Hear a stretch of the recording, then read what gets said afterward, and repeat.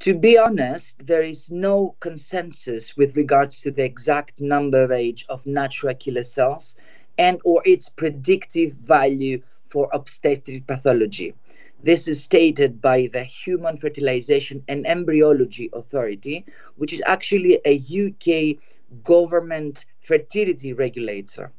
Abnormal numbers and dysfunction of decidual natural killer population could result in pregnancy loss, as it has been suggested by studies that quantify NK population changes as they are reflected in peripheral blood.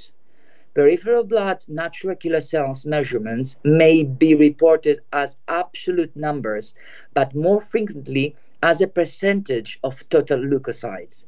There is little consensus as to what constitutes a high peripheral blood natural killer cell number. Different studies have used cutoffs of between 12 up to 18%.